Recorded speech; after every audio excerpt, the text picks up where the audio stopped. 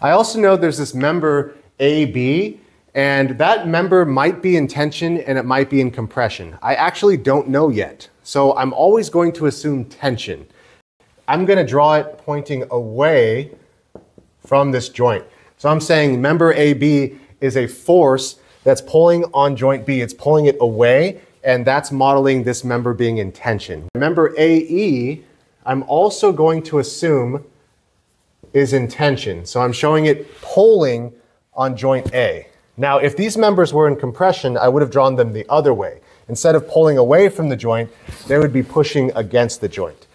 Now, it may turn out that these are in compression. I don't know yet. But when I do my calculations, if I get a negative answer for one of these, that tells me my assumption of tension was incorrect and it's actually the other way around and really it's in compression.